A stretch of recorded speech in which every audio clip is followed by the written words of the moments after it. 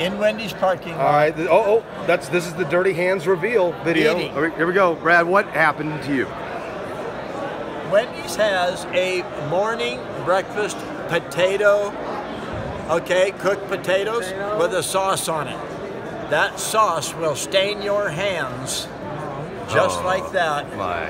and it won't come Look, this is so interesting. We Won't got come m- off. social media over come here. off. Yeah. Wendy's. So Wendy's is serving Great potatoes. sauce. Great potatoes. They taste great. But if you're going to a meeting, you're going to church, and you got your suit on, don't touch those potatoes. All right. Sage advice What from the it, wise though? one. What was it? You gotta let us know. It- what it's was just it? the sauce on the potatoes. Oh, what's the sauce on the Yeah. So I looked in the bag, and here's this liquidy sauce, and, and it gets on your fingers, you know. And I thought, oh my God, my mouth.